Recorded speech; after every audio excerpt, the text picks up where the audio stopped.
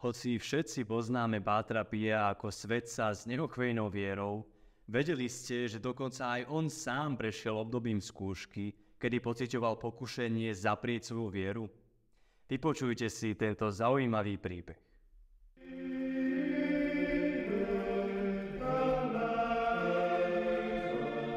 Vítajte späť na našom YouTube kanáli po stopách Pátra Pia. Páter Pio bol kapucínsky reholník, mystik, a zázračný divotvorca, ktorého príhovor je dodnes veľmi silný a aktívny. Videá overenujeme 3 dní v týždni, preto nás sledujte a dozviete sa viac o živote tohto fascinujúceho svetca. Budete prekvapení, čo všetko môže Páter Pio urobiť pre vás, čo na vašej rodiny alebo priateľa. A teraz k nášmu príbehu. Dnešný príspevok čerpáme zo zbierky listov svätého Pátra Pia z Pietrelčíny, ktoré vydal Gianluigi Pascale. Tejto knihe sa stretávame s listom, ktorý odhaľuje vnútorné boje Pátra Pia, podobné temnej noci duše, ktorú opisuje svätý Ján z kríža. Páter Pio v liste datovanom na 8. marca 1916, teda vo veku 29 rokov, svojmu priateľovi otcovi Agostínovi vyjadruje hlbokú osamelosť a pocit opustenosti od Boha. Píše, Pokoj bol vyhnaný z môjho srdca, stal som sa úplne slepým, Zahalila ma hlboká tma a nemôžem nájsť svetlo, nech sa snažím akokoľvek. Ako môžem potom dobre krážať pred pánom? Nie, on nemôže byť so mnou skutočne spokojný. Vrhol ma medzi väčšných mŕtvych, na ktorých zabudol. Bola to moja zloba, ktorá mi na plecia priniesla toľko nešťastia. Následne sa vyjadruje celkom poeticky. Vždy upieram zrak na východ, na noc, ktorá ho obkolopuje, aby som rozoznal jasnú hviezdu, ktorá viedla našich otcov do betlehemskej jaskyne. Márne však napínam oči, aby som túto jasnú hviezdu uvidel. Čím viac sa pozerám, tým slabší je môj zrak. Čím viac sa usilujem, čím horlivejšie ju hľadám, tým viac sa ocitám zahalený do väčšej tmy. Cez deň som sám, v noci som sám a žiadny lúč svetla ma neosvieti. Nikdy nepríde ani kvapka úľavy, aby oživila plameň, ktorý ma ustavične polcuje bez toho, aby ma strávil. Potom opisuje krátky okamih úľavy. Táto blažená chvíľa však netrvala. Podľa jeho vlastných slov, iba raz som v najtajnejšej a najintimnejšej časti svojho ducha pocitil niečo také jemné, že to neviem vysvetliť. Najprv duša pocítila jeho prítomnosť, bez toho, aby ho videla – a potom sa tak povediac priblížil k duši, že plne vnímala jeho dotyk. Ako sa to stáva len vtedy, keď sa naše telo zblízka dotýka iného. Aby som vám to iba slabo prirovnal. Neviem, čo viac povedať. Môžem sa vám len priznať, že ma najprv zachvátil veľký strach. A krátko na to sa tento strach premenil na nebeskú extázu.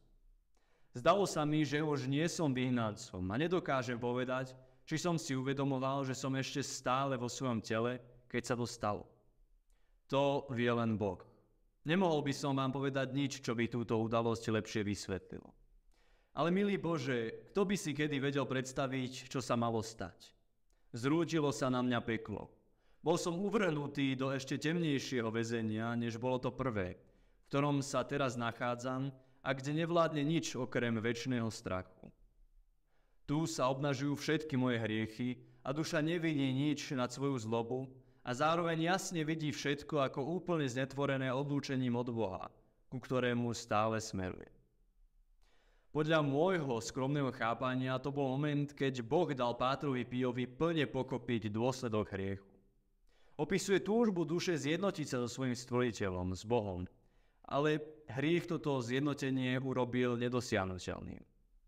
Páter Bio si uvedomil priepasť medzi svojou dušou a Bohom a práve toto uvedomenie spôsobilo, že prežíval takú hrôzu. Sveta Terézia z Avily živo opisuje desivú víziu pekla. Po svojom denníku napísala Jedného dňa som sa modlila, keď som sa v okamihu, nevediac ako, ocitla zrejme v pekle. Pochopila som, že tu bola vôľa nášho pána, aby som videla miesto, ktoré mi diabli pripravili – a ktoré som si zaslúžila svojimi hriechmi. Bol to len okamih, ale zdá sa mi nemožné, aby som na niekedy zabudla, aj keby som mala žiť mnoho rokov. Vchod sa zdal byť dlhým, úzkým priechodom, podobným peci. Veľmi nízkym, tmavým a tesným. Zdalo sa, že zem je nasiaknutá vodou, obyčajným bahnom, nesmierne hnusná, vydávajúca morové prachy a pokrytá odpornou háveťou. Na konci bolo v stene duté miesto, podobné komore, a v ňom som sa videla zatvorená.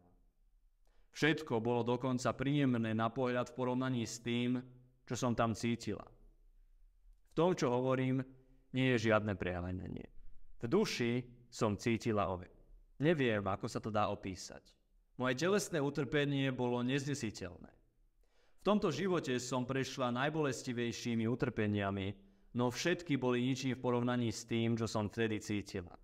Najmä keď som videla, že nebudú mať žiadne prerušenie ani koniec. Ponechaná na tom morovom mieste a úplne bez sily dúfať v útechu, som si nemohla ani sadnúť, ani lahnúť. Nebolo tam miesto. Bola som umiestnená akoby v diere v stene a tie steny, strašne napoľať sami o sebe, ma obkolesovali zo všetkých strán. Nemohla som dýchať. Nebolo tam svetla, ale všetko bola hustá tma. Naozaj hrozivé. Vráťme sa však teraz k listu Pátra Pia. Ďalej citujem. Duša nepochybuje o milosrdenstve pána, pokračuje, ktorý ju možno jedného dňa spojí so sebou. Skôr tu, kde je všetko úplne subjektívne, duša v sebe nachádza nemožnosť takéhoto spojenia.